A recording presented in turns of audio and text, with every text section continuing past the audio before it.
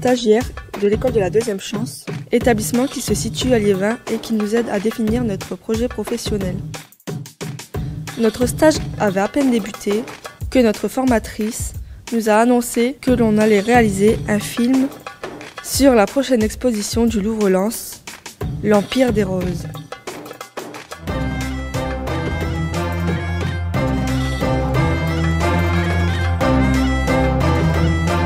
Ça allait être l'ennui total. Je pensais pas que ça allait m'intéresser. Au début du projet, j'étais franchement pas très intéressée. Arnaud et Stéphanie sont venus nous présenter l'exposition sur les rois cageurs. Aline est venue nous montrer des extraits de documentaires et puis on est passé à la pratique. Et action. Monsieur, bonjour. On a vu ce qu'était une interview et comment elle se réalisait avec les caméras et les micros. Hein Comment vous appelez-vous? Dylan Slevich. Pouvez-vous me raconter ce que vous, vous voulez faire plus tard? Faut rire là-bas.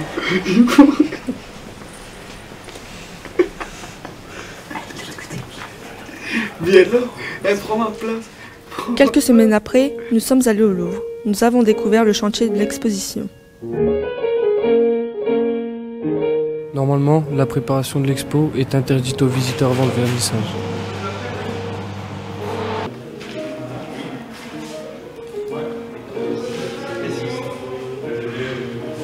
J'ai été étonné qu'il y ait autant de métiers dans un musée.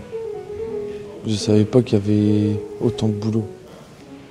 Bah, qu'ils construisent en gros une nouvelle pièce dans le musée, euh, juste le temps d'une exposition. Du coup, ils ont besoin de plaquistes, de plâtriers, de peintres, d'éclairagistes, de monteurs, installateurs. Et ils doivent euh, tout finir avant que, les œuvres arrivent. J'ai remarqué qu'ils étaient sous pression parce que bah, le vernissage euh, y approchait fortement. Bah, en tout cas, euh, ils s'entraidaient tous pour, y arriver.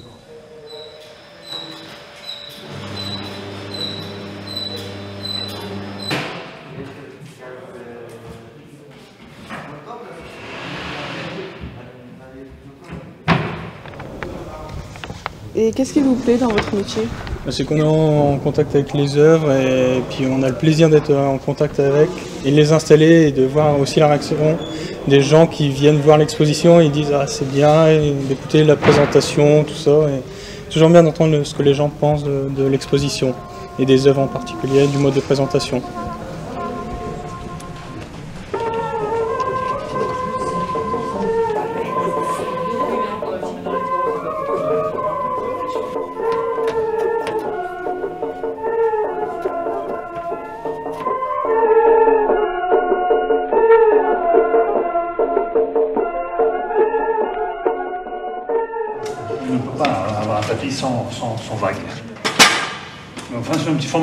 Ça doit revenir facilement. Sur les grands, ça a du mal à revenir parce que ça fait trop longtemps que le pli. euh.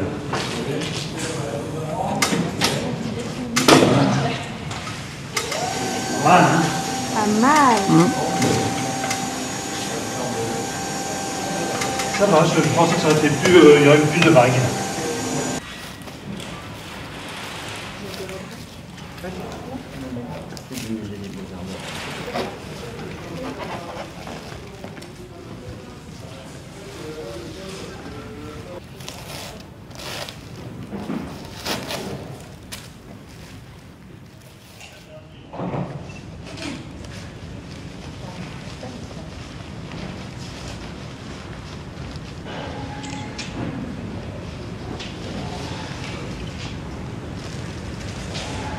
Étiquette, euh, on a un emballage ou bien. Avec le constat de temps,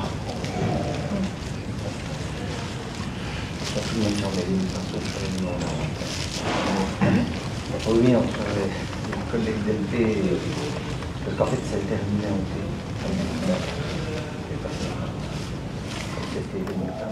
Bonjour Florent. Bonjour. Quelles sont vos fonctions au sein du musée?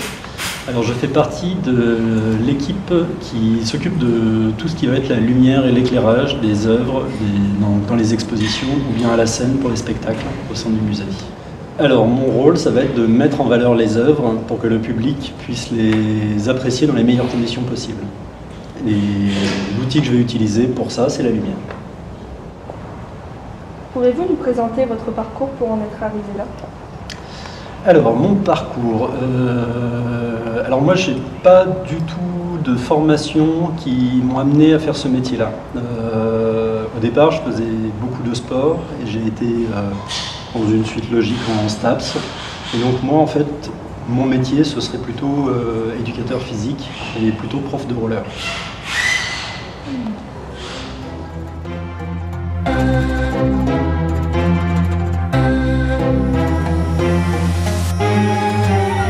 Les interviews avec les créateurs. Mathis, l'assistant scénographe. Tiffaine, régisseuse de conservation des œuvres. Et Carole Guillaume, l'assistante de la commissaire d'exposition. On n'était pas de simples visiteurs, on était devenus une équipe de reporters. La première fois que j'ai fait une interview, j'ai fait des blancs de fou. Je me suis dit que c'était pas mon truc. Bonjour. Bonjour. Comment vous appelez-vous? Alors, je m'appelle Tiffaine. Je développe un peu plus. Je m'appelle Tiffaine. Je sais pas si...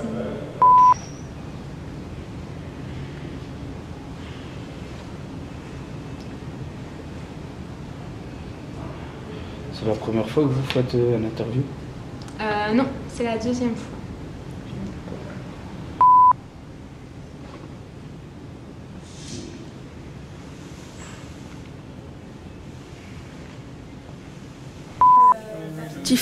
Elle, son métier, c'est régisseuse de conservation des œuvres. Euh, elle s'occupe euh, plutôt de la logistique liée euh, au montage de l'exposition. on accompagne les œuvres à chaque fois sur un projet de A à Z, du point de départ jusqu'à l'installation pour l'aller. Et la phase retour, c'est pareil. Quand on démonte une exposition, on accompagne les œuvres du lieu ici jusqu'au lieu de retour de C'est métaux et étrangers et où Avez-vous une, une anecdote sur cette exposition? Alors oui, il y a une petite anecdote. On a deux collectionneurs privés qui sont venus amener eux-mêmes en fait euh, leurs œuvres. Ils nous ont fait découvrir autrement une œuvre d'art, puisque c'est des œuvres d'habitude qui sont exposées chez eux, euh, un tapis sur lequel il y a du mobilier, ce genre de choses. Et en fait, on a eu l'occasion de dérouler avec eux ces, œuvres et certaines en fait euh, ressortaient une, odeur d'épices qui était très très forte et qui, comme elles viennent d'Iran, on, a senti en fait euh, l'odeur des, œuvres et c'est très très flagrant. Je ne pensais pas. Alors Matisse, euh, lui, il est architecte scénographe. Il crée des univers, des ambiances. Il met des œuvres en valeur pour chaque exposition. Euh, pour pas désintéresser les visiteurs et pour pas les ennuyer. Des camaïeutes bleues, donc toujours un esprit avec euh, l'art persan, avec euh, ses, entrées, avec ses portes qui rappellent l'imaginaire qu'on peut avoir. Et Christian Lacroix a voulu mettre dans sa scénographie des tissus. Si l'expo est si remarquable, c'est certainement grâce au travail de Christian Lacroix, la grande personnalité de la couture. C'est lui qui a choisi la position des murs. Il a fait en sorte que l'exposition ressemble à l'intérieur d'un château de l'Empire persan. On peut regarder, on peut voir une des volontés de Christian Lacroix. Ça a été de créer deux axes pour avoir une enfilade d'endroits, d'espaces et d'avoir une grande profondeur. Alors on a eu une collaboration avec euh, Christian Lacroix. Donc euh, lui était plus sur la partie artistique, moi j'étais plus sur la partie technique. Donc euh, je suis là pour mettre en œuvre en fait avec euh, les entreprises pour, pour monter en fait euh, toutes les salles, tous les projets et tout dessiner pour que, pour que la fabrication euh, se fasse avec les prestataires extérieurs. Donc voilà, après il y a plein de, de métiers, comme là on peut voir euh, euh, l'informaticien en train de mettre euh, les fils pour les, dispositifs un peu numériques qu'on voit tout au long du parcours. Et donc on arrive dans des salles très colorées, donc euh, aussi cette volonté d'avoir une couleur très forte, très fort parce que le parcours visiteur, enfin à la fin les visiteurs sont très fatigués, et donc d'avoir une couleur forte comme ça, ça les réveille. Cette section, première sous-section est destinée à présenter vraiment la dynastie et à présenter les membres de cette dynastie qui sont suffisamment peu nombreux pour que nous puissions les présenter un par un. Euh, car on a aussi rencontré Carole Guillaume. C'est la commissaire de l'exposition qui l'a appelée pour euh, s'occuper de l'organisation de l'exposition. C'est une grande exposition. Alors, cette exposition est la première euh, grande rétrospective sur l'art de l'Iran au XIXe siècle. C'est une période qui, longtemps en France, a souffert d'un certain mépris de la part euh, des professionnels des musées, mais aussi euh, de la part des chercheurs en histoire de l'art. Aram Ramadran est le seul à ne pas être présenté par un portrait. C'est un personnage tout à fait intéressant et intrigant. C'est un eunuque. Pour fonder une dynastie, c'est quelque chose d'assez étrange, euh, en tout cas à nos yeux. Et si je ne le présente pas par un portrait, c'est parce que Aram Ramadran étant eunuque, il se considérait comme très laid. Il était probablement atteint d'une maladie de peau. Et donc on a très peu de portraits faits de son vivant. Il y en a quelques-uns, il y en a quelques-uns, mais il y en a très très peu. Euh, et donc nous l'avons figuré d'une certaine manière par sa couronne, qui est ici présentée, qui vient des, collections du Golestan à Téhéran. Les œuvres euh, ont, été choisies dans les plus grandes collections européennes euh, et iraniennes. Euh, mais aussi euh, dans les collections particulières, c'est-à-dire des œuvres qui jusqu'à présent n'ont jamais été montrées au public puisqu'elles sont conservées chez les particuliers. Euh, nous avons aussi la grande chance d'avoir des œuvres qui étaient jusqu'à présent restées dans les réserves des musées, c'est-à-dire pas exposées dans les salles. Donc pour certaines, elles ont dû être aussi restaurées, c'est-à-dire réparées. Coupées, désolé. Ah oui, perceuse. On était dans le chantier et souvent on était obligé de couper euh, au niveau du son. À chaque fois, il y avait Arnaud qui était à côté de nous pendant les interviews où on, filmait. Et à chaque fois, on recommençait. Comme ça, on pouvait s'améliorer au fur et à mesure euh, qu'on filmait. Pendant le tournage, on rigolait bien. On est entre nous, entre potes, et on s'éclate pendant les tournages. C'était cool, il y avait une super ambiance. Ça n'a pas toujours été cool, car un jour on a dû attendre plus d'une heure l'arrivée d'un tapis.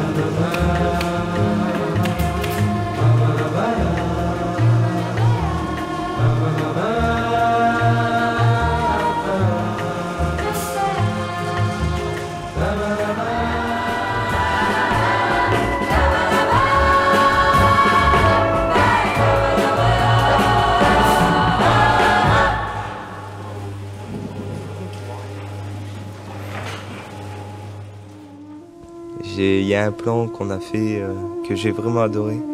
On a galéré euh, pendant une heure. Mais ça valait la peine d'attendre.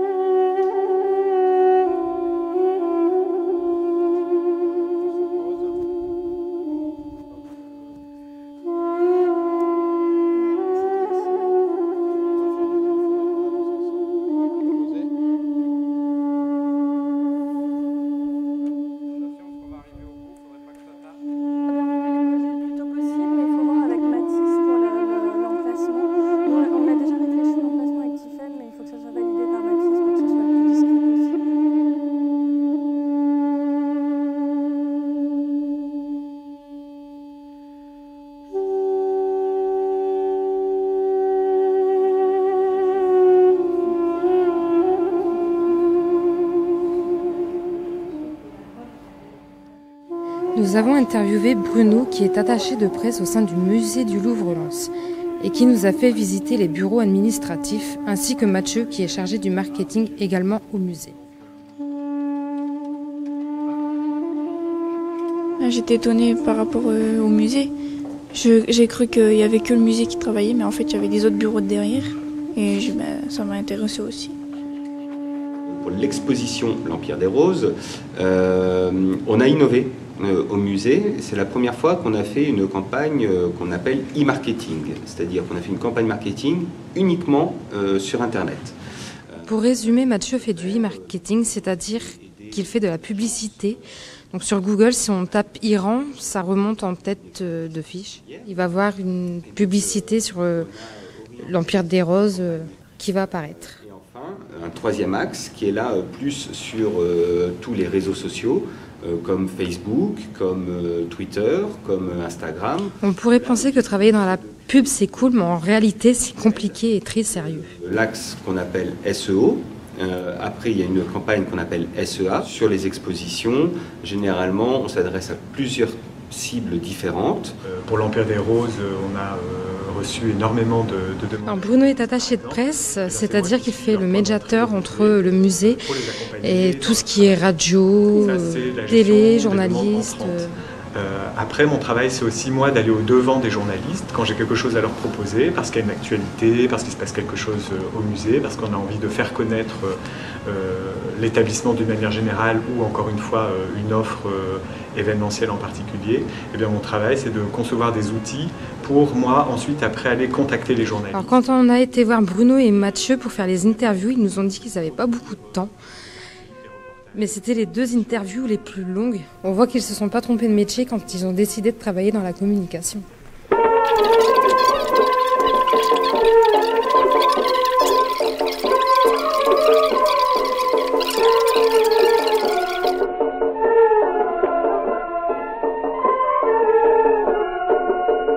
Ma dernière interview, c'était avec Madame Liénard, de la Fondation Total. J'étais beaucoup moins stressée euh, avec les autres interviews, donc euh, j'ai pris confiance en moi et tout ça. Ça m'a semblé euh, plus facile parce que j'avais pris l'habitude. Madame Liénard, quel est votre rôle au sein de la Fondation Total? Alors, moi je m'occupe de toute la mise en œuvre des programmes culture et patrimoine.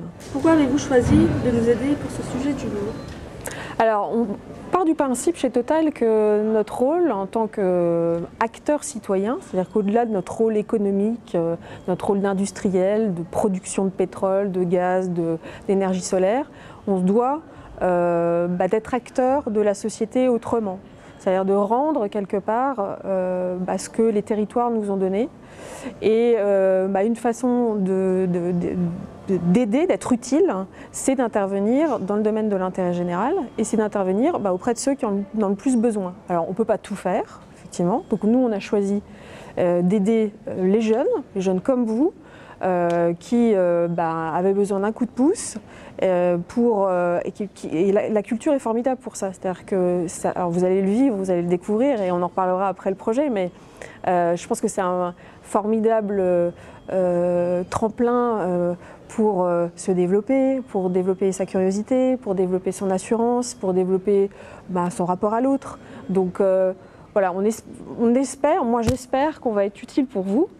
Euh, à notre mesure, hein, évidemment. On va peut-être pas changer vos vies, mais euh, en tout cas qu'on va vous apporter une expérience euh, dont vous vous souviendrez. Voilà. Je vous remercie l'information. Merci à vous.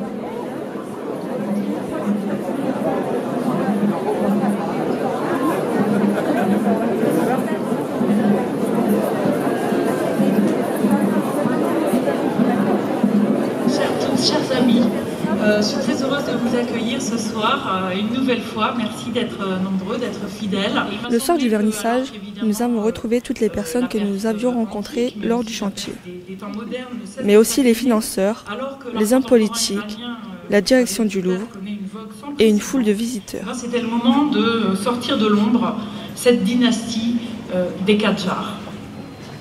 Pour ça, nous avons réuni un tandem de choc que je tiens à saluer et à remercier. Euh, il est formé par la commissaire Gwenaëlle Sélinger, euh, du département qui est conservateur au département des arts de l'islam du musée du Louvre, et par le directeur artistique de l'exposition, euh, Christian Lacroix.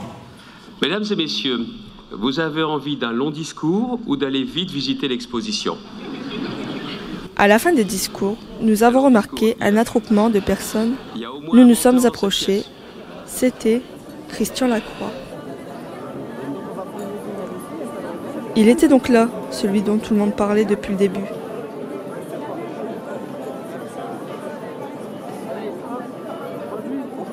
Dylan m'a mis au défi d'aller faire un selfie avec. Mais j'osais pas. Après m'avoir charrié, j'ai fini par y aller.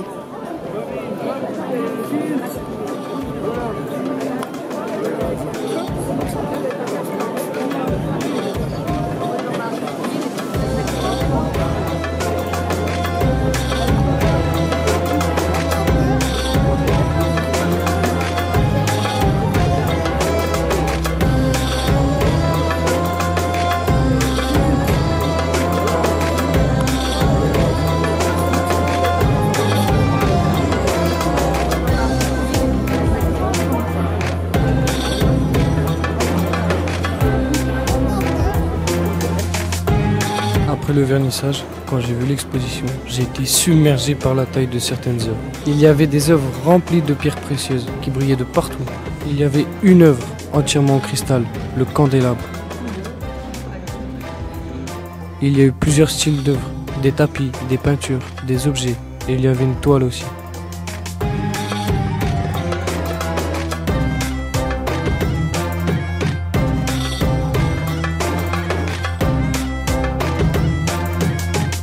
Le soir du vernissage, on a posé des questions aux visiteurs pour euh, savoir ce qu'ils pensaient de l'exposition. Et euh, bah, c'était très intéressant parce que moi j'aime bien avoir euh, les avis des personnes. Il faut avoir une certaine ouverture d'esprit. Resplendissant, on va dire, c'est très, très beau. hein. Et ça représente bien le style iranien. On a l'impression euh, d'être dans, vraiment dans le palais, euh, d'être dans un palais, d'être projeté dans le temps.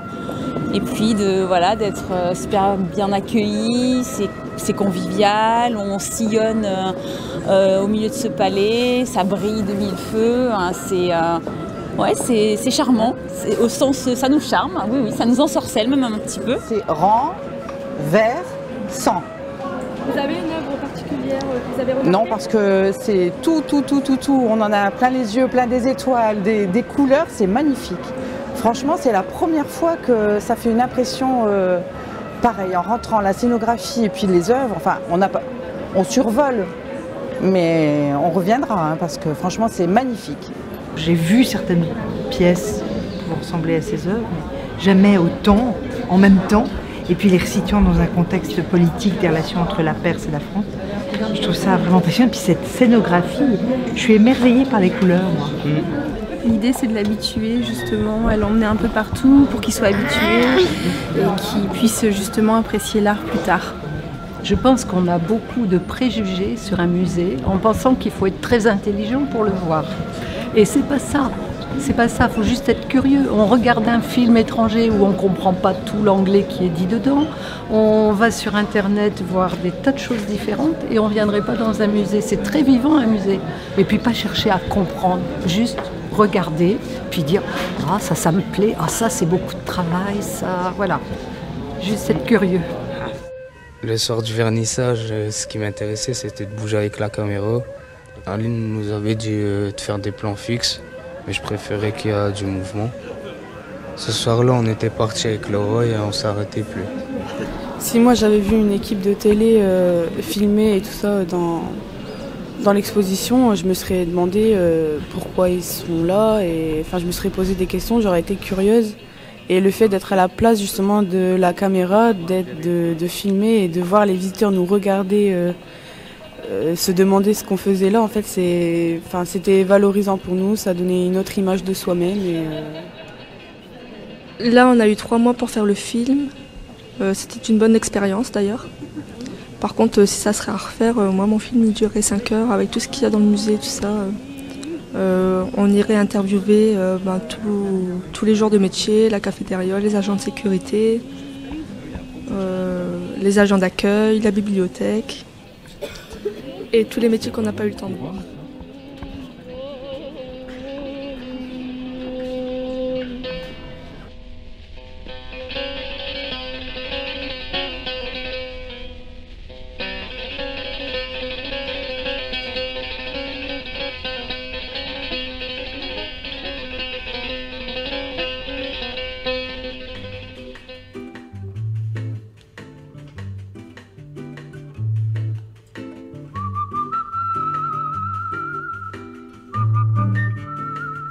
On n'était pas les seuls à apprendre l'audiovisuel. On a retrouvé des rushs qu'on regardait pendant qu'on faisait le montage. Et on a, on a vu Arnaud et Stéphanie en train de faire des tests et on a bien rigolé pendant ces moments-là.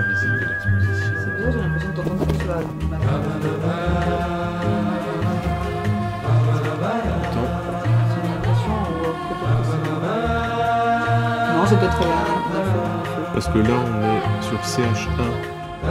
Après, c'est Stop.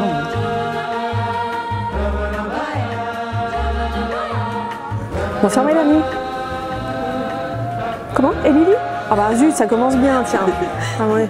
Euh, après le, le vernissage euh, du Louvre qu'on a passé euh, la soirée euh, du veille, euh, le lendemain j'étais à Carrefour et euh, je me promenais, j'étais avec un ami. et, euh, de loin, je vois, quelqu'un qui ressemblait très fort à, Christian Lacroix et on n'arrêtait pas de j'arrêtais pas de le regarder. Je me suis approché vers lui et je dis euh, excusez-moi euh, monsieur, vous êtes euh, Christian Lacroix Il me dit non, on s'est tapé une barre, j'étais gêné. Et après je suis reparti, on n'arrêtait pas de rigoler. Après je me suis dit c'est impossible, il habite à Paris ça m'étonnerait qu'il vienne faire ses courses à Carrefour, quoi, Liévin. Ça m'étonnerait pas.